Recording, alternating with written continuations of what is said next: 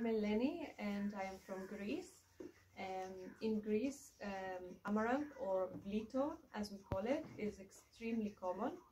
Um, in fact, um, a lot of people who have uh, some sort of allotment or a garden uh, will grow it. Um, myself, uh, as a child, I used to have the job always of watering the amaranth in the summer. It needs a lot of water, and obviously, where Greece, where I'm from, is very hot. Uh, we tend to cook it in a very simple way all across Greece, and just boiling it with water, and then uh, you can serve it with some salt. And if you want, you can add some lemon and maybe some fresh garlic. And it usually is like a type of warm salad that you put in the middle of the table for everybody to share. Um, mostly for fish, sometimes with meat as well so yeah, it's it, in any restaurant you go, usually you will find the